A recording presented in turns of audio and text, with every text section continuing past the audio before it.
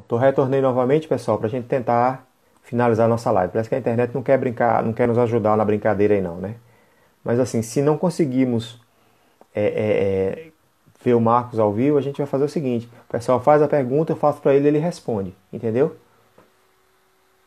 Tô aguardando aqui a entrada do pessoal, né? Infelizmente, o mundo virtual é bacana, mas às vezes faz uma, esse tipo de coisa com a gente. Tô aguardando o Marquinho voltar aí.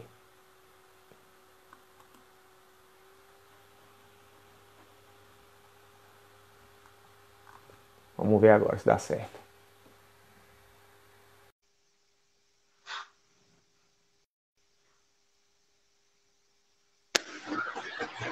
É, meu camaradinho, você tá aparecendo só escuro aqui pra mim, viu? Só tá aparece só o som. Tá. Caramba. Aqui tá perfeito, eu consegui enquadrar mais a. a... Pessoal, vou perguntar ao pessoal, vocês estão vendo a imagem do Marcos aí? Alguém dá um ok se estiver vendo aí, porque eu não tô vendo aqui, não, só tô ouvindo a voz.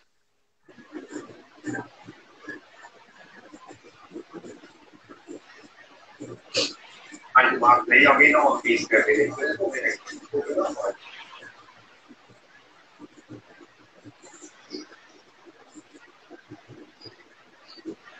É, o pessoal não tá vendo, não estão vendo não, só estão ouvindo a voz. Olha aí, ó. Entre nossos amigos Carlos Ivan, lá do Rio de Janeiro. Bem-vindo, Carlos Ivan. Infelizmente, cara, tá, tá horrível. Não tá entendendo ainda. Provavelmente é a internet aí. Mas vocês estão vendo minha imagem, né? Tá perfeita a minha imagem? Tô, tô, tô ouvindo, tô vendo você perfeito. Tá aparecendo, a câmera pra mim tá dividida. Sim. Tô você em cima Aqui tá aí, dividido a, a também. Hum. Aqui está dividido também, só que está escuro a só parte de baixo. Tá... Caramba.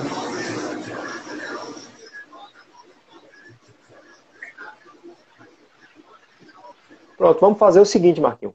Vamos passar para a parte, a parte de perguntas, entendeu? Faça a pergunta tá. e você responde, ok? Certo. É o jeito. Pessoal, então assim, por enquanto o Marcos não está aparecendo, infelizmente, né?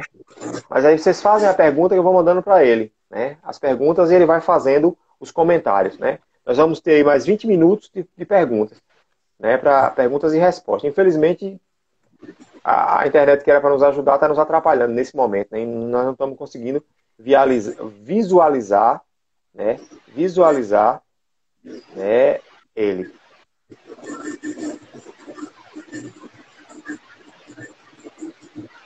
Marcos, eu vou fazer a primeira Oi. pergunta. Tá ouvindo?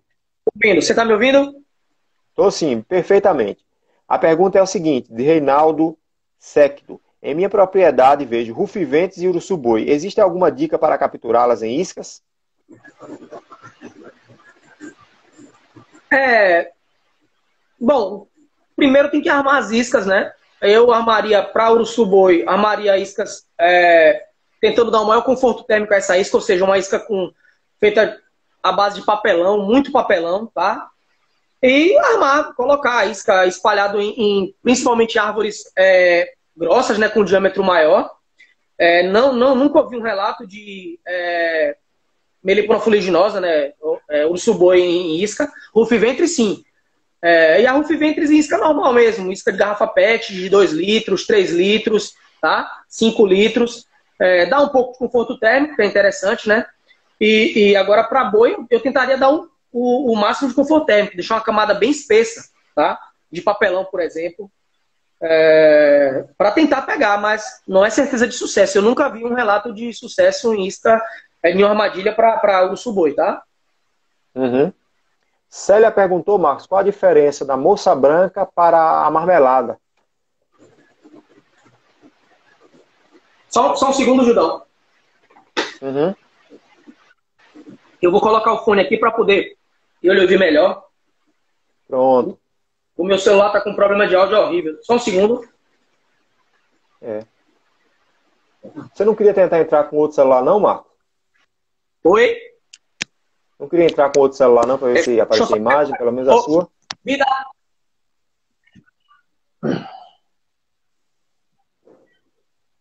É, não quer trocar o celular, não? Tá ruim aí? Não tá, não tá vendo mais. Tá. Eu vou botar aqui no carregador.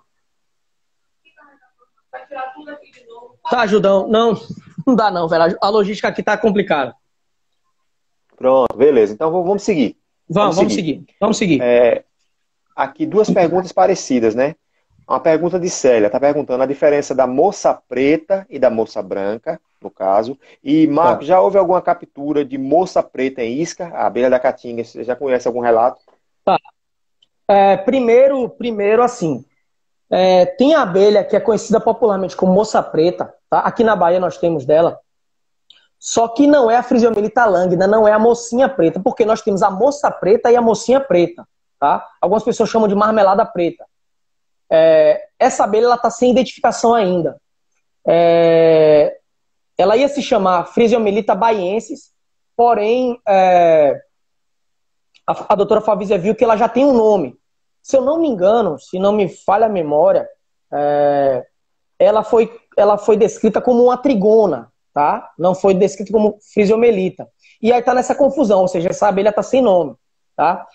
É, agora sim, a mocinha preta, Tá? Eu acho que até a nossa amiga Célia, mandar um, um beijo aí para ela e pro, pro esposo, tá? Um, um beijo pro casal. É, são pessoas fantásticas. É, eu acredito que ela esteja falando de mocinha preta, tá? Que é a frisiomelita lânguida. Tá? Aí a pergunta é qual é a diferença da frisiomelita dessa, da mocinha preta é. para marmelada? Isso.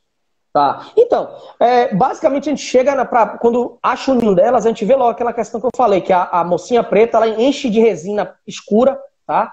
A, a, o entorno da entrada do ninho, ok? Enquanto que a, a, marmelada não faz isso. A marmelada é, é, geralmente algo bem discreto. Tá? As duas entradas são de é, são únicas, tá? Ou seja, passa só uma abelha por vez. É, a mocinha preta é uma abelha menor, tá? A, a, e como o próprio nome popular diz, ela é toda preta, tá? Só com a pontinha da asa branca. A marmelada, ela é uma abelha mais amarelada, certo? E também com a pontinha da asa branca. E maior do que a, a, a moça preta, tá? Isso, assim, a grosso modo, seria as diferenças dela, ok? Ok. É, ah, o Sidney coisa, pergunta o seguinte. Só para complementar, é, a, a, o ninho da, da, da, da marmelada é muito maior do que o ninho da moça preta. Tá? A população muito maior, os ninhos são bem diferentes também. Ó, oh, Marcos, eu vou juntar duas perguntas. Eu vou fazer a pergunta do Sidney e da Vida Meliponário. Ele falou, Pronto. o Sidney, fotógrafo lá de São Paulo. Ontem ganhei um ninho de Lestramelita, de limão, uhum. já na caixa. Hoje abri para ver o ninho, possui uns potes de armazenamento de alimentos e parecem com potes de melípona. É isso mesmo ou será que invadiu? Né? E a outra pergunta é, quais são as fisiomelitas que ocorrem no sul da Bahia? Tá. É, bom, pode ser sim. É, é, ela aproveitou o, o, o ninho da, da, da, melipona que ela pilhou. Eu, até onde eu sei, os potes da, da Melita não são tão grandes. Tá ok? Inclusive no Rubik, ela, ele não relata isso, no, no, trabalho do Rubik. Ele não relata que. Uh, os, ele relata potes grandes só para melípona e cefalotrigona. Tá? Então, é, eu acredito que ela pode ter aproveitado o ninho da espécie que ela pilhou. Tá? Do que, pilhou não, matou e, é, é, e, tomou conta, né? Que ela invadiu. Uhum. É, agora sim, a longo prazo eu acho que esses potes vão ser desfeitos. Tá bom? É, em relação às espécies de frisiomelita que tem no sul da Bahia. Tá bom? Olha, uhum. no, no, sul que fala é o quê? A região extremo sul, tipo Porto Seguro ou sul Itabuna? Ele é... não especificou, só tá. botou sul da Bahia. Tá, se for, ó, eu fui apenas uma vez em Porto Seguro, tá? É, eu não, eu sei que lá ocorre frisiomelita, porém eu não, não vi. É, eu vi. Eu vi tetragona, eu vi borá, eu vi plebeia, é, eu vi partamona, né, boca de sapo, enfim. Marcos. Foi. Extremo Sul, ele acabou de falar aqui. Tá, Extremo Sul. É, tem tem uma espécie de frisiomelita, uh, deixa eu lembrar aqui o nome dela, uh, que ela é muito parecida com a frisiomelita do Ederley, tá? É, se eu não me engano, até uma vez eu conversando com a doutora Favise, ela relatou que era sinonímia, ou seja, era a mesma espécie, tá? É, ah, tá. É, Frei, Frei, Frei Maia, parece, Frei Maiai, tá? É, é o nome dela, que ocorreria no extremo sul, mas se eu não me engano é sinônimo de do Ederley. Então seria a fresiomelita do Ederley. Tá? Uh, eu acredito também que lá possa ocorrer frisiomelita dispa. Porque no sul, na, na, na região de Tabuna tem, de Ilhéus tem frisiomelita dispa. que é muito parecida com a Physiomelita varia, tá? É, e é conhecida como marmelada, como, como breu, que é a tal da boca de cisco. Ok? Ok. Diego está te mandando um abraço aqui. Um forte abraço. Mais uma pergunta. Forte abraço para você também. Meliponário Vale Europeu. Existe diferença morfológica entre Manduri do Espírito Santo e Santa Catarina? É, se for espécies diferentes, sim. É, às vezes o fenótipo, como eu falei, a questão lá da, da Melipona herbúnea, né, que alguns fenótipos da herbúnea tem, parece um, um tipo de uruçu amarela, é, pode, pode ter. Fenótipo ele, ele muda, né? Ele pode, na mesma espécie, ele pode, como, eu, como a bicolor também, a, a bicolor bicolor, no caso, é, que aqui eu tenho no meu meliponário, tem, nós temos no município de Presidente Tancredo Neves alguns fenótipos do, dos pelos do tórax mais acinzentado, mais escuro, uma coisa linda, eu acho ela linda, a linda. E tem umas que são mais avermelhadas no mesmo local. Né? O amigo Guilherme, mandar um abraço para o Guilherme lá de São Paulo, biólogo, é, ele, ele me mandou uma imagem esses dias é, de uma melipona bícola bem com os, os, os, pelos do tórax bem avermelhados. Então pode sim ter diferença. Viu? É, Ô, Marco. Sim. Marco, ele fala aqui sobre bugia. Né? O, a pergunta seria bugia. A bugia? Sim. Cara, é ele, na pergunta ele pergunta é, é Melípula Mondori, mas agora falou que é bugia. Tá, tudo bem, é a Mondori mesmo, bugia é Mondori. É, sim, é, tem, umas, tem umas bugias que elas são mais amarelas, um amarelo mais forte, ou tem um amarelo, um amarelo mais, mais sem tanto brilho, sabe? Eu já, eu já vi, eu já vi algo assim. Poderia ter, ter essas diferenças, essas diferenças fenotípicas tam, também, mesmo, né? Uhum.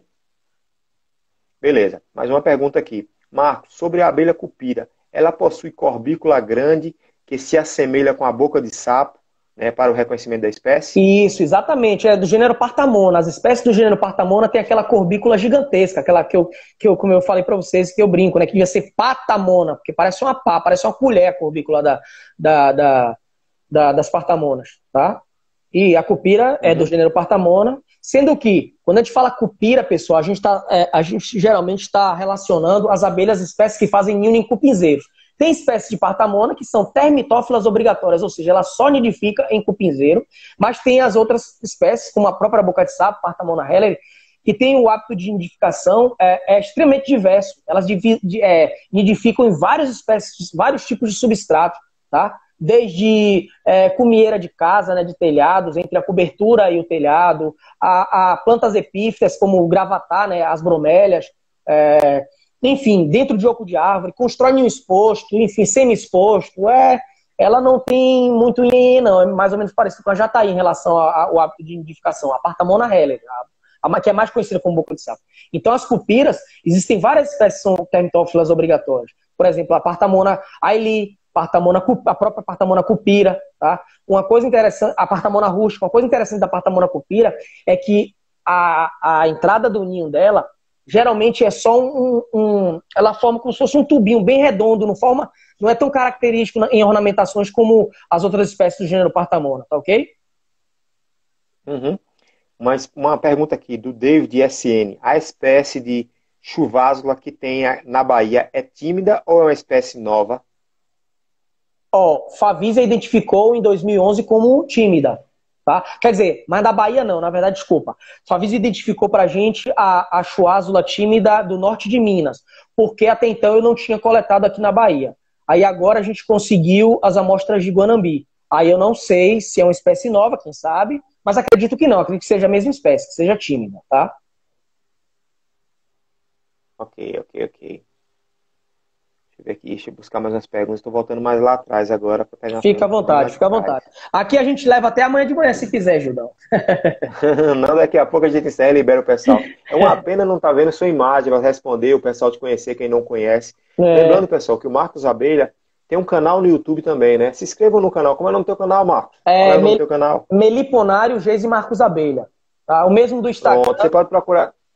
É, o mesmo Isso. do Instagram. E também e do Facebook. É, Facebook né? é Marcos. Vira e mexe aí. Marcos Abelha? Isso, Facebook é só Marcos Abelha. E para quem está aqui na Bahia, né, principalmente Salvador e região metropolitana, aí vira e mexe também, Marcos faz uns cursos bem bacana, né, de duração de um dia. Fala um pouquinho sobre ele rapidinho, Marcos.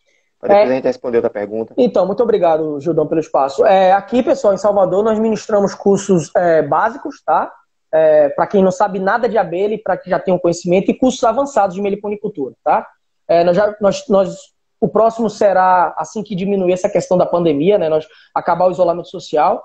É, se eu não me engano, vai ser o 23 ou o 24? O 26, 26, tá? É, e o, o, quinto avançado provavelmente lá para setembro, vai depender como vai estar essa situação da pandemia, tá? É isso aí, pessoal. Quem tiver interesse, estiver aqui na Bahia, né, cola aí que você vai ter um, vai ter um dia de campo muito bom, muita experiência, vai aprender muito, certo? Então se inscrevam no canal, sigam a página no Instagram. Marcos é um cara sempre solícito, está ajudando muita gente do Brasil todo aí, manda fotos para ele para identificar abelhas, né? É. um, um, excelente identificador de abelhas. Eu vou voltar só, aqui algumas perguntas, Marcos. Eu só uma colocaçãozinha, fazer... ajuda. É, eu eu acho que as pessoas, algumas pessoas até estavam falando, pô, o Marcos Abelha subiu dos grupos. É, é, tem um grupo, né, o grupo da gente do WhatsApp, queria mandar um abraço para todo toda a galera do meu grupo, né? Que é, são as pessoas que participam, já participaram dos meus cursos, tanto os básicos quanto o avançado. Né? E é, eu fiquei quase um mês sem, sem entrar no grupo, porque eu estava escrevendo né, dois artigos, um em parceria com, que eu sou coautor, com parceria com o nosso amigo Davi Nogueira, tá? É, sobre biologia de escaura, e o outro é sobre a minha da, da do artigo de, de, conclusão de curso, né, que foi um trabalho que eu fiz aqui. Então eu estava dando muita atenção aos grupos, né, não só o meu, mas também eu não ia muito 100%, não, em todos, tá? No máximo dava um pitaco rapidinho assim, enfim, tá? Então foi por isso que eu estou um pouco uhum. um pouco sumido. E também assim, infelizmente eu não posso dar tanta atenção devido às correrias, né, da vida. É verdade. Chamar no, privado, seguinte, Marcos, chamar no privado pode demorar um, dois dias, três dias para responder, mas eu respondo. É isso aí. Pereira disse o seguinte, Marcos, aqui eu estou tirando uma pergunta lá do grupo 100%, né? Eu tá. já tive a lestramelita limão criada racionalmente, já presenciei as operárias carregando cera para o interior da colônia na, no terceiro par de pernas. Isso, isso, isso. É na, na tíbia do terceiro par de, de, pernas. Elas levam também como se tivesse curbícula. Eu já vi também cera e resina, tá? Já ouvi relatos de pólen, porém nunca vi. E muito menos coletando pólen, tá? Mas Marco, tem um rapaz aqui. Viu? Tem um rapaz aqui na, na live que só é mandando beijo, que te ama. Tô achando estranho isso, viu? que é? Eu amo ele, meu beijo. É um cara chamado Marcos Riquelme Riquinho. Eu amo meu pai, tá aqui só mandando beijo. Eu também te amo, filhote. Também te amo muito. Aqui alguém pergunta, muito polêmico é a questão de hibridação ou mestiçagem entre as escaptotrigonas. É, poderia falar algo sobre isso? Aqui é o meliponário CTRE, C3. Ó, eu não vou me aprofundar muito. É, eu vou fazer o seguinte. É, é um assunto polêmico, tá?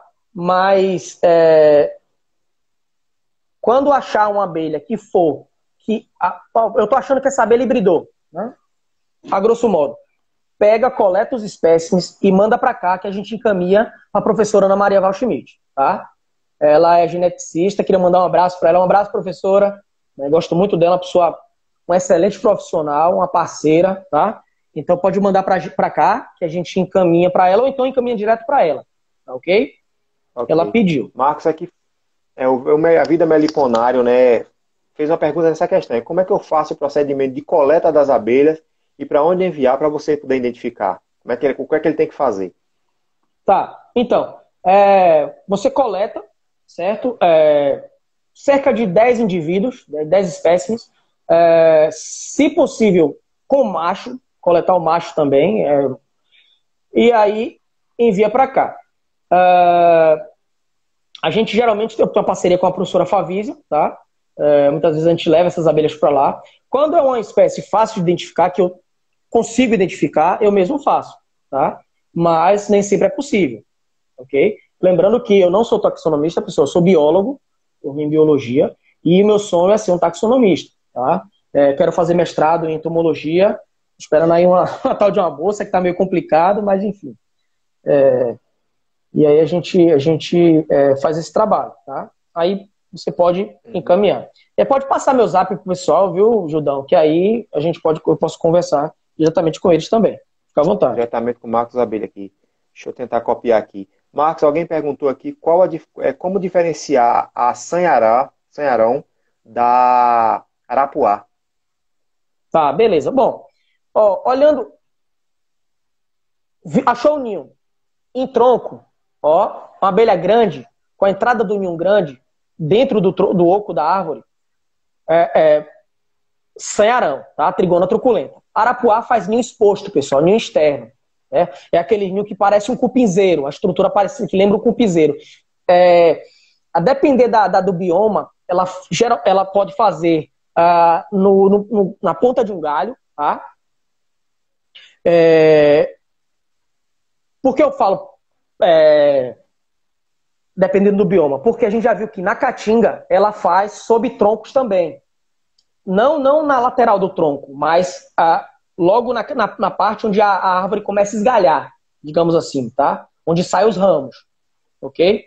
E a gente- no, no- no cerrado também a gente observou isso. Ela, ela faz não só na ponta dos galhos, mas também né, na, quando a, a, a, a árvore começa a se ramificar, certo? É, e a união exposto, a união externa. E o sanharão, ninho dentro de oco de árvore, uma abelha grande, tá? Sendo que tem aquele, aquela característica que a gente sabe, tá? Não é 100% confiável a questão da, da, da, da tíbia, do terceiro par de perna ser ferrugino, ser acobreada, né, ser amarronzada. Eu já vi alguns espécimes de arapuá de Trigona spinix com a perna escura, perna preta, tá? Então, é, arapuá, ninho exposto, uma abelha, todas as duas são muito defensivas, só que o sanharão, assim como o sanharó, a Trigona fucipenis também, é, dentro de tronco, tronco de árvore. Beleza, beleza. Deixa eu ver aqui mais algumas perguntas. né? Cadê você, João Carlos, Meliponário? Tem muita pergunta aqui. É, como identificar é, zangões de Melipona monduri? Beleza. É, a pena que não está aqui o slide mais, mas enfim. ah, os zangões, é, da, da- no caso do. Eu vou falar para o gênero Melipona e vou especificar para Mondor, tá? Os zangões do gênero Melipona, pessoal, eles geralmente são abelhas menores do que as operárias, tá? Já na tribo Trigonine, na, nos trigoniformes, né, Jataí, né, abelha mirim, os machos geralmente são maiores, tá? Mas para não confundir muita cabeça, eu vou falar só do, do, de meli- de- de- do gênero Melipona, tá? Então, eles são geralmente menores.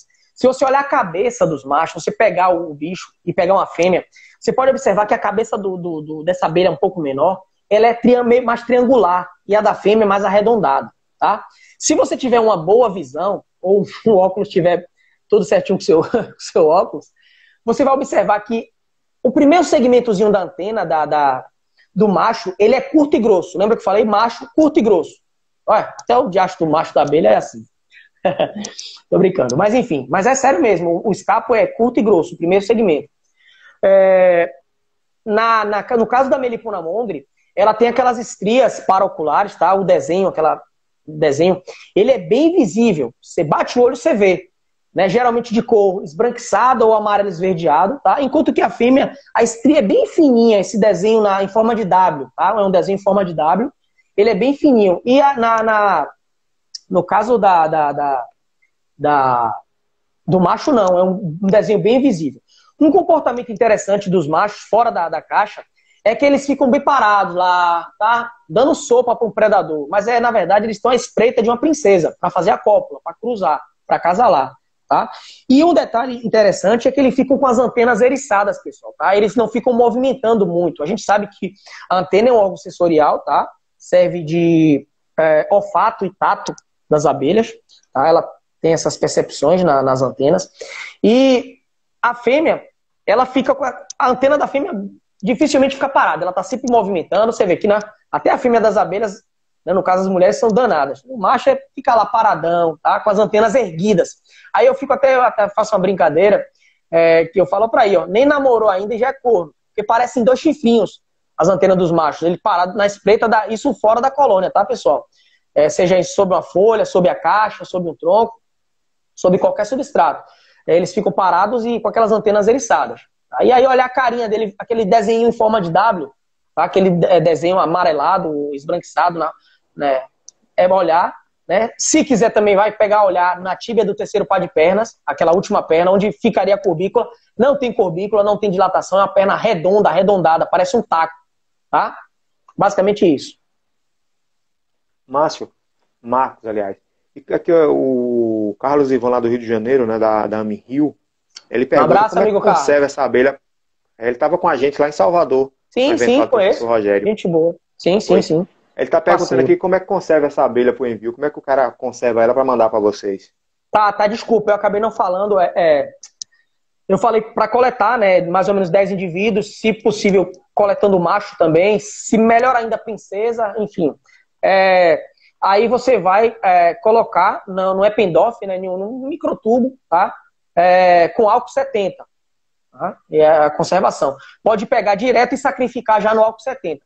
Quem tiver acetato de etila, tá, que é um, um produto químico, é, aí sacrifica com acetato de etila, porque o acetato de etila, pessoal, a abelha não sente dor ao morrer, ela, ela, ela anestesia a abelha, a abelha morre, tá? Se eu não me engano, por parada cardíaca, tá? Aí ela acaba Beleza. morrendo. E aí uhum. pode Isso enviar. Aí. Pessoal, mais duas perguntas. Eu vou mandar essa pergunta e vou abrir espaço para mais uma, entendeu? Já passamos das 9 horas. A nossa live começou por volta de 7 e 10, então a gente já temos duas horas de live aí. Certo? Apesar de agora no final a gente não está conseguindo visualizar o Marco, mas pelo menos estamos escutando e aprendendo através das informações que ele está falando. Né? Silva, Silva Regni, né? Boa noite, parabéns pelo seu trabalho. A Sakura Langula, é, se tem possibilidade de encontrar ela em São Paulo, né, no estado de São Paulo, na natureza em São Paulo. Sakura Langula? Sim. Cara, não é escaura, não? Escaura longula. Escaura longula. É escaura. Eu li errado aqui. Tô lendo Sakura, já tô, não, já tô bêbado aqui. É tá, escaura. É correria. É escaura longula. Sakura. Em São Paulo, ah, se eu não me engano, no oeste de São Paulo ocorre. É, eu não sei se ocorre em Ribeirão Preto, mas mais pro oeste de São Paulo eu acredito que sim. Porque tem. Ela pega ali é, o, é, o estado de Goiás, né? E vem, vem, vem por ali pelo Cerradão. Eu acredito no oeste de São Paulo, sim tá? no oeste do estado de São Paulo. Escaura longula. Ela, ela é uma espécie é uma espécie interessante que ela faz. Ela e a dactilurina, é uma espécie africana, ela, elas colocam, disponibilizam suas crias, né? Dispõem suas crias é, é, não em discos é, horizontais, como a maioria das espécies, mas sim algo vertical. É bem interessante. Beleza. Essa última pergunta aí, né? Essa aqui eu já respondi aqui no, no próprio no feed aqui. Alguém perguntou, a SF, depois que as abelhas nascem, elas usam os discos novamente como aptos ou fazem outro? Elas fazem outros, viu, pessoal? Deixa eu ver se tem mais alguma pergunta. Última pergunta para a gente liberar o Marcão. Não, por mim tranquilo. Deixa alguém para trás. Beleza? Mas assim, pessoal, já agradeço a todos vocês, né, por estar participando dessa live. Amanhã se tudo correr bem, se for da vontade de Deus, teremos mais uma live com o Gerson do SOS, né? Ele vai estar aqui falando sobre o projeto 100%, 100% eu só quero falar 100%. Falar sobre o, o SOS. SOS Abelha Sem Ferrão, né, o projeto.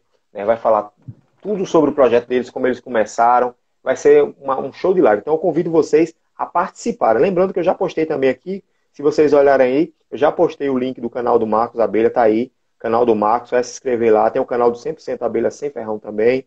Tem o link do grupo do Facebook do 100% Abelha Sem Ferrão. Né? Infelizmente, nós não conseguimos agregar todas as pessoas no WhatsApp, que não cabe. Né? Futuramente, nós temos um grupo no, no Instagram, no Instagram, só quero falar Instagram, WhatsApp, no Telegram. Futuramente a gente vai disponibilizar o link aí que cabe até mil pessoas, certo? Mas por enquanto, né, a gente está por aqui. Aqui nós temos aqui, eu tô, agora eu vou dar um, uma olhada rápida aqui. A amiga Leia, né, tá, tá ao vivo aí na, com a gente aqui no Instagram. De, Davi, Meliponário, Oribim. Tem muita gente. E o pessoal tá, tá aqui, como se diz assim, tá, tá te agradecendo, falando que foi top, parabéns, agradecendo. Porque assim, pessoal, Marcos Abelha, assim como o professor Rogério, assim como a professora Generosa, assim como o Gerson, assim como o Borracha na Sexta, todos eles estão doando o tempo deles, né, aproveitando esse tempo de quarentena e doando o tempo deles e o que eles, e o que eles sabem para vocês de uma maneira totalmente gratuita, né? E a gente só tem a agradecer a eles por isso, por esse apoio. A gente convidou e ele, vamos lá, vamos fazer. Em momento algum, pestanejou, né? Eu bati o convite e ele, não, minha internet é ruim, mas a gente faz. Mas vamos que vamos. E é isso aí, a gente só tem a agradecer, ok? Muito obrigado a todos vocês que estão participando da live. É, compartilhem depois isso aqui. Eu vou tentar baixar todas essas, essa, essa, essas lives aqui e colocar lá no, no, no Facebook, não no, no YouTube, YouTube. para vocês verem depois. Aqui fala o seguinte, ó. Parabéns, Meliponário Geise e Marcos Abelha. Aqui é a Geizinha, né? Parabéns pelo projeto, obrigado pela oportunidade. Geizinha, esposa do Marcos e filha, orgulhosas. Seu marido está de parabéns, né, por ter doado seu tempo. Muito obrigado também, Geise, por aceitar que a gente entrasse aí na sua casa e bagunçasse todo o seu itinerário noturno aí, para a gente poder participar dessa live, certo? Muito obrigado, Marcos Abelha. E muito obrigado à família Abelha também. Marcos, você pode fazer suas considerações. O pessoal parou de perguntar e está só agradecendo. Muito bom, muito bom, muito bom. Pode fazer suas considerações. Ah, não, eu que agradeço a oportunidade mais uma vez, Judão. É, você e toda a equipe do 100%. É, é um grupo é, que eu tenho uma grande consideração, tenho uma grande afinidade, né? É, são pessoas conscientes, têm boa consciência, consciência ambiental, tá? Sou fã mesmo de vocês também. É, obrigado por acreditar no trabalho da gente, tá? A gente está aqui para isso, é, é, sempre aprendendo e compartilhando conhecimento. É, não poderia ser diferente, a gente nunca sabe tudo, é sempre aprendendo. É, e eu gostaria também de mandar um abraço é, para o amigo Peu, é, de Tremendal, tá? É, e o amigo Giovanni também de, Tremend... de, de, de Livramento de Nossa Senhora, é, que eles me, me disponibilizaram né, imagens da, da, da Jataí, oh, desculpa, da frisomelita, essa frisomelita, a moça preta, e eu ia colocar na apresentação, mas você viu, ficou tão grande que eu acabei não utilizando. Eu queria pedir desculpa para eles por ter eles ter me disponibilizado, né? É, mas não deu para usar. Mas eu com certeza já vou embutir essas imagens numa próxima apresentação. Com certeza eu vou estar mostrando e lembrando deles, tá? Muito obrigado mesmo, tá? É, é bom, aí, gostaria de agradecer ao 100% a todas as pessoas que puderam participar da nossa live, a galera do Facebook, é, é, do Instagram, tá? É isso aí. Um abraço a todo mundo, né? Abraço ao professor Rogério, abraço à professora Gena, tá? A professora doutora Favísia, abraço ao meu amigo é, é, Diego Davi Nogueira, Tá? Um abraço a todo mundo. Se eu esqueci de alguém, me desculpe de agradecer. Um beijão para minha esposa, para minha filhota, para meu filho, o Marcos de Kelvin, que está me assistindo. toda a minha família. E muito obrigado mesmo. Foi um Beleza. prazer estar aqui com vocês. Galera, a gente vai ficando por aqui. Agradece a vocês aí. Amanhã, se Deus quiser, mais uma live aí com o Gerson. Espero contar com a presença de todos vocês. Viu? Muito obrigado. Desculpe por alguma coisa. Infelizmente, às vezes, a, a tecnologia que ajuda atrapalha um pouco. Mas o importante é que o recado foi dado, a gente aprendeu muito aí com o Marcos Abelha, é um cara que conhece muito né, e merece muita nossa atenção. Né?